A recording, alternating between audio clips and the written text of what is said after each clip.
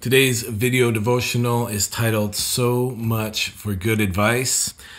The words of Job, chapter 2, verse 9 says, His wife said to him, Do you still retain your integrity? Curse God and die.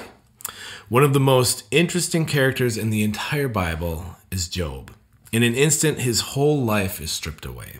Virtually no aspect of Job's life was spared. His family was systematically wiped out, and his own physical health deteriorated with boils covering his entire body. The backstory to all this was that Job was an upright man, and the devil believed he, Job, only trusted God because his life was good. Take away all the blessings, Satan argued, and, the, and Job the man would reject and deny God.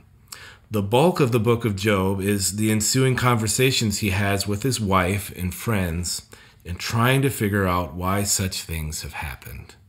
Job knows his character is righteous, but most of the advice he gets is simply to admit he has some unconfessed sin, some error, and come clean before God.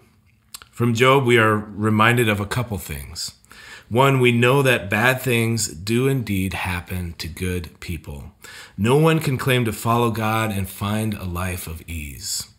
Sin still reigns in this world, and its effects still bring harm to the righteous. Second, there is a need to find good counsel when we are in the midst of a storm.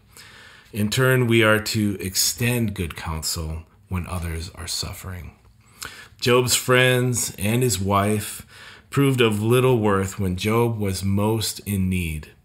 We can take heed to the need to stand in the gap when others are facing difficulty and offer words that bring hope, not despair.